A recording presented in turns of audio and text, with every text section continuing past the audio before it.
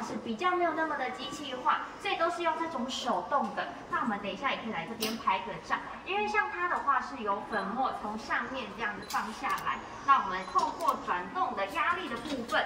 然后去制造成这个定剂，那这区的话，大家都可以试试看，然后拍个照，因为它这一区的话，还蛮多人喜欢在这边玩，然后以及拍照的，对，都可以拍一下。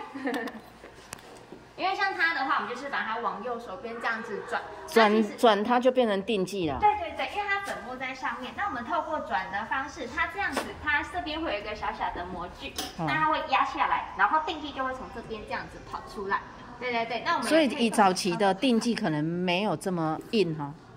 嗯，因为这个手动的，对对对对，它不会到那么高速冲压。那高速冲压的话，就会是我们旁边这一台的机台。对对对对，那因为很多人他是想要动手这样子试试看的。对呀，看你们有想要闻闻看。因为像它这个的话，也是我们近几年就是放在这边，让游客们就是可以这样子体验看看。比较早期的，我们就是单纯用手这样子压定剂的一个感觉。它粉末没有加其他的东西。它粉末的话，直接就被压成了。可以就是被压成定的部分。